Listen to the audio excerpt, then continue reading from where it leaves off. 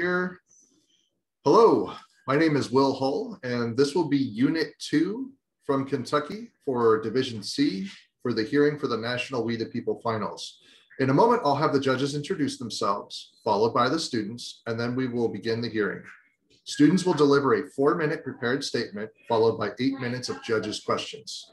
My microphone will be muted during the hearing, and I will be holding up a one minute and a time sign uh, to indicate those periods in which the hearing has progressed. I suggest that you use the gallery view in your top right-hand corner. Um, so, and at the conclusion of this hearing, the judges will give brief feedback um, to the team, and then we will conclude. Um, and the recording has already begun, so I will now let the judges introduce themselves and put myself on mute. Hi, I am Julie Silverbrook. I am the Senior Director of Partnerships and Constitutional Scholar in Residence at iCivics, and I will be serving informally as your Chief Judge uh, this afternoon or morning, depending on where you are uh, in the US. And I will have my co-judges, uh, Tim and Nicholas, go ahead and introduce themselves. Good morning. My name is Tim Eigo. I am a lawyer and magazine editor at the State Bar of Arizona in Phoenix, Arizona, and I'm looking forward to our conversation. I'm Nicholas Drummond. I'm an assistant professor of political science at Black Hills State University in South Dakota. Great. So our team from Kentucky, do you guys want to go ahead and introduce yourselves to us? In whatever order you would like. I'm John Vincent. My name is Braden Becker.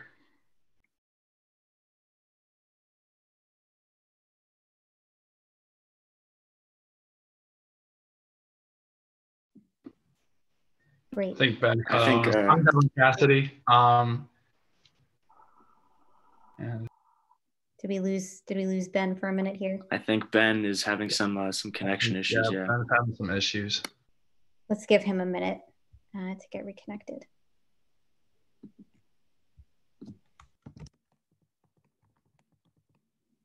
Ben, do you want to go ahead and introduce yourself?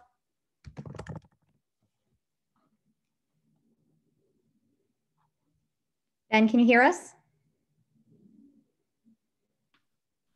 Ben Lecky. Great. So uh, what you're all waiting to hear is what question you'll be answering uh, this uh, morning or afternoon. We will be uh, answering question one. Um, I will now read that question and sub questions to you. What were the major disagreements among the 55 delegates during the Constitutional Convention in Philadelphia and how were they resolved? What issues, if any, were not resolved and what were the consequences? What changes, if any, should be made to the Constitution? Um, as Will, uh, our facilitator, indicated, you will have four minutes to answer these questions. You may begin whenever you're ready. Uh, if we could have just a, a, second, Mr. Hall, I think Ben is, is still trying to call into the meeting. Sure thing. I haven't started the timer yet. I'll start it when you guys start speaking.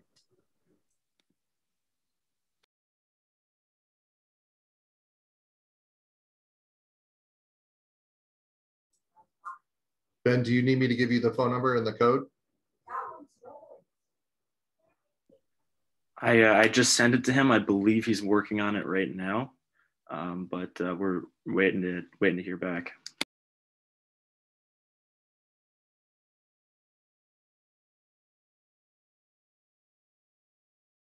So we'll be answering question one. And that question is, what were the major disagreements among the 55 delegates during the Constitutional Convention in Philadelphia and how were they resolved?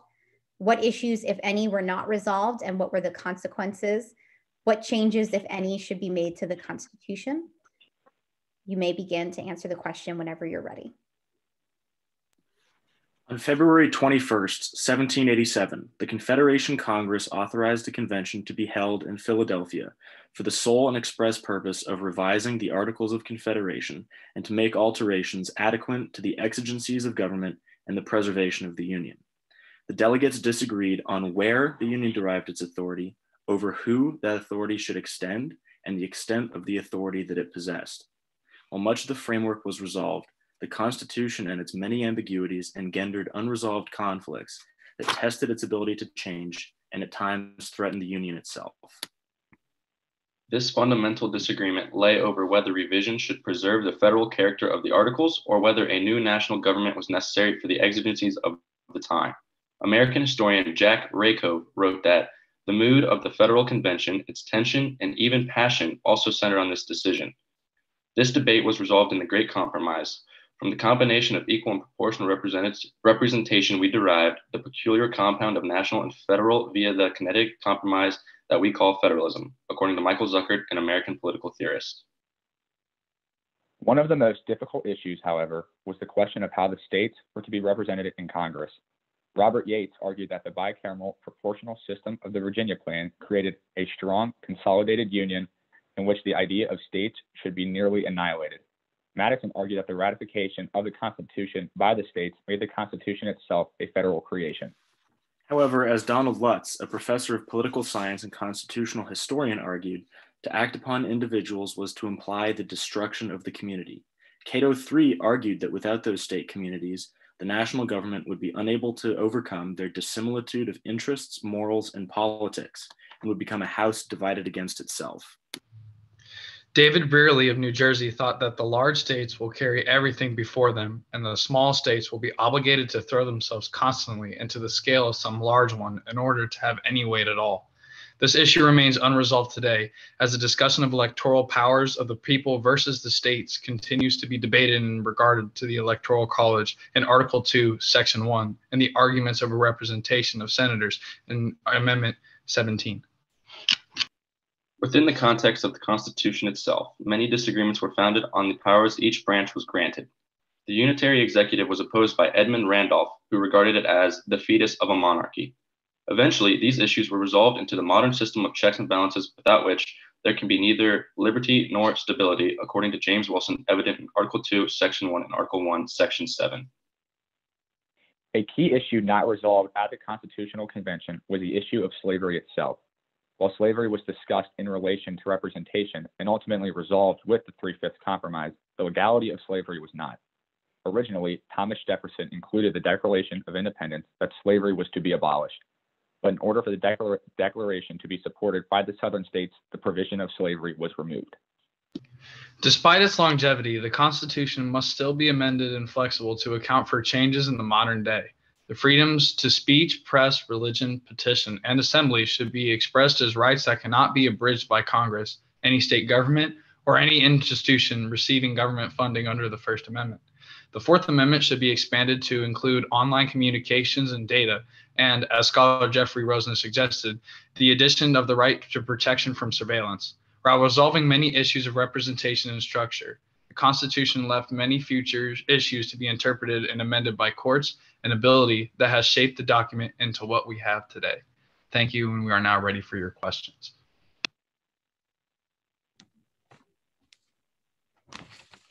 Great.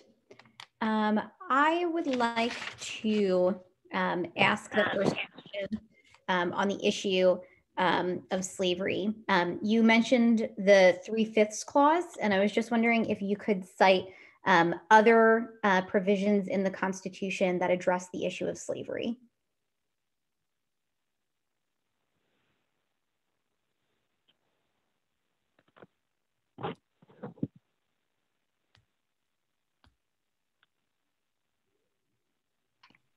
Can, can you repeat that? I, I didn't hear you.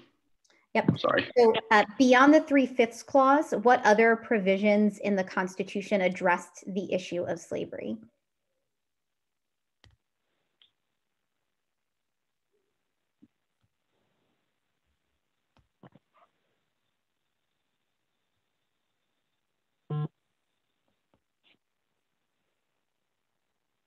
Uh, one one other um, provision is although they didn't take any definite action to ban slavery, they did say that the slave trade would not be able to continue past 1808. Although you know a stronger foundation for the abolition of slavery only came in the 13th, 14th, and 15th Amendments after the Civil War. Okay. Thank you.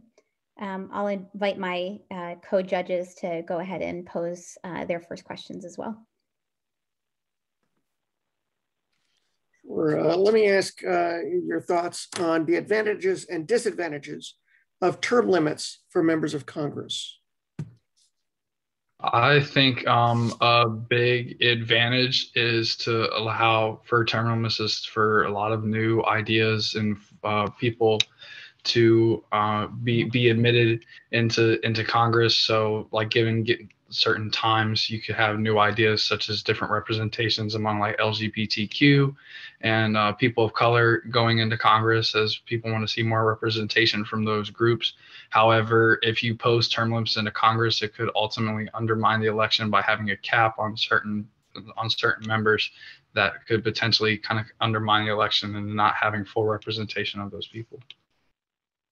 Another uh, disadvantage that you could see with term limits in the House is also the idea of, well, now, since these members of Congress have this set in stone time of being there, they're going to pass as many of their partisanship ideas and really like make their mark, I guess, for better or for worse, the best way they can, since they know, well, I'm here for a certain amount of years. I'm going to make, you know, as many changes or provisions as I can based on what they believe, which could be dangerous, you know, with the, you know, if they begin to address like certain, you know, things that are not, you know, ideal for the country as a whole. I think one um, of the biggest disadvantages of term limits is that it's kind of telling people who to vote for. People may have a candidate that they like and believe who truly represents them and they love the work that they've been doing, but can't continue to have them in office because of a limit. So, in some ways, it's taking choice away from the people. Um, furthering off of my colleague Joss, um, it literally takes away the election and makes the election honestly pointless because if the people want their senator or um, House member in office and passing what they believe in, they should have the right to keep them in. Thank you very much. So, one of the major points of contention at the convention and certainly thereafter in the newspapers was the appropriate size of a republic. Could you say something about this debate? What were the major disagreements, and what side of the debate do you support and why? Uh, well, that that's certainly something that was echoed in Federalist papers like Federalist 10, where Madison argued that a large republic was actually better than a small republic because you'd have you know, representatives of better quality, and that system of government could be better administered over a large area. In this case, I think I disagree with with Madison. I think a small republic is better, where the constituents or where the representatives are more intimately familiar with their constituents and their desires uh, because as Montesquieu, Montesquieu said, uh, a representative democracy can't be successful, republic can't be so successful if the representatives aren't intimately familiar with what their constituents think. That can only happen in a small republic. Maybe just a follow up. Um, there was also Madison's idea about majority factions. Can one of you speak to that?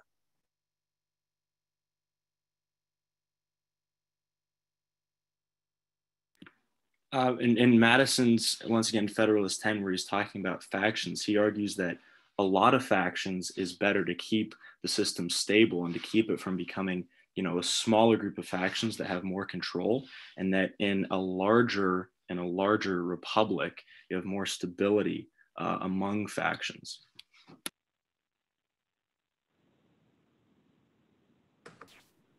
And, and, and could I ask the group, does that analysis hold up even today or just when the nation was founded?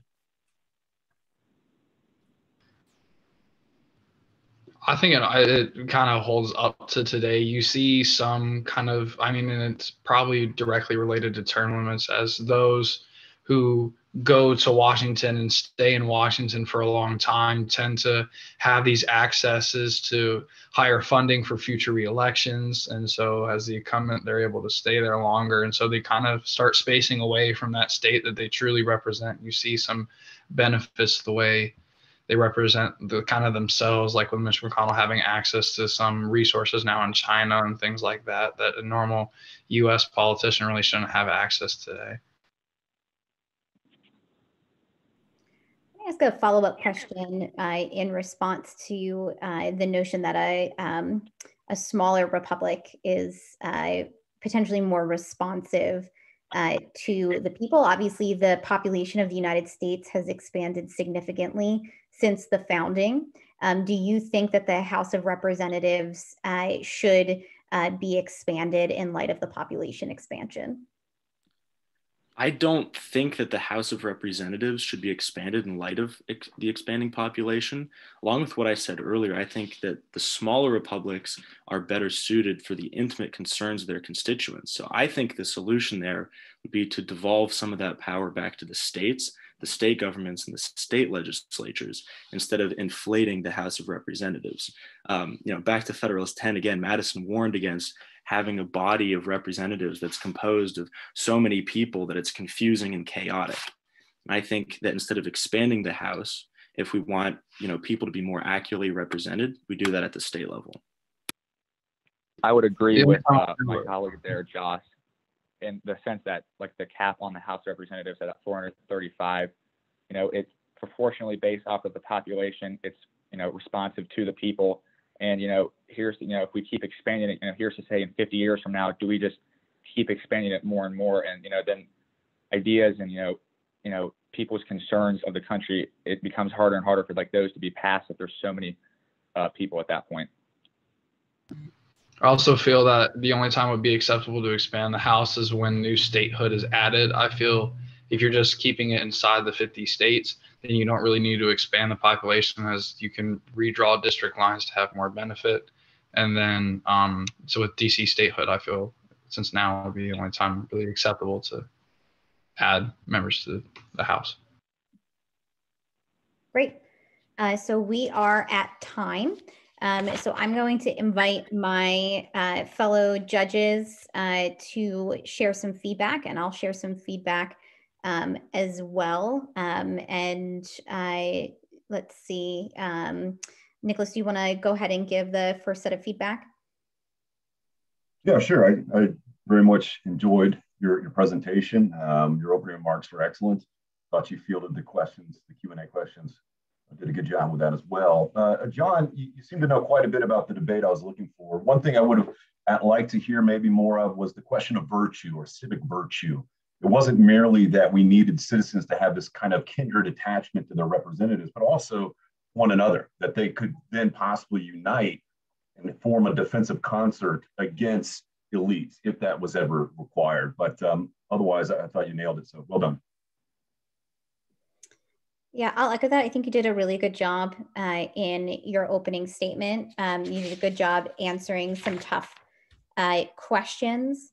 Um, I think uh, there's a really interesting strain of thought about um, this idea of giving power back to the states. And um, I wish we had more time uh, to talk with you guys a little bit more about your theory uh, behind that. Um, it's not surprising. I've been doing this competition for uh, judging this competition for several years, um, and the number of students who uh, support um, a less strong federal government um, is actually pretty high. Um, so it's not not surprising to hear that. Um, I would just say, um, just in terms of critical uh, feedback, you did a nice job citing the convention records. I think you struggled a little bit with um, the constitutional text uh, questions themselves. I think you, specifically with uh, the slave trade um, in addition to the three fifths uh, compromise. Um, it's possible um, you guys might have looked at your notes uh, potentially uh, during the answer question and answer period, which you're not supposed to do. There's no way for us to know that for sure. Um, but I would just say, you know, moving forward, make sure that during the Q&A period, you are sincerely not looking at your notes uh, because that is one of the rules for the competition. But overall, you guys did a really great job and you should be very proud of yourselves. I will echo that. And I think this is a great start to a day for you and for us. So thank you very much for that. Um, great conversation, well prepared. Um, I'll begin with one thing uh, Julie mentioned. I would, when you mentioned uh, devolving some power to the states, I was ready to have an hour conversation about that. So, uh, John, thank you for bringing that up. I would love to have delved more into that. But of course, we only have so much time, don't we? Uh, but I'd love to know what that would look like. Um, when uh, you address the question of term limits, I think you did well. um, I, I, I, think it's uh, helpful to think always about what worked then and what works now. And it gives you the opportunity to talk about things like um, what do term looks term limits look like? Uh, and you covered it well, but what do they look like in a time when we have maybe a permanent civil service staff, right? Which we didn't have at the beginning. So uh, who's in charge of the government if we have term limits then?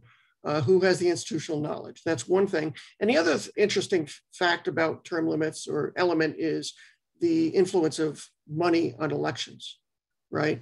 So what do term limits look like now when incumbents have so much power to get reelected? Uh, does that influence your decision at all? Um, and then finally, you threw in right at the end, brilliant, but I'd love to hear more DC statehood. Uh, that would be a, a fascinating uh, element to de delve into with a little bit more uh, detail. And it sounded like you were ready to do it if we had another eight minutes. But um, I appreciate it, gentlemen. Very well done. Okay, with that, we're going.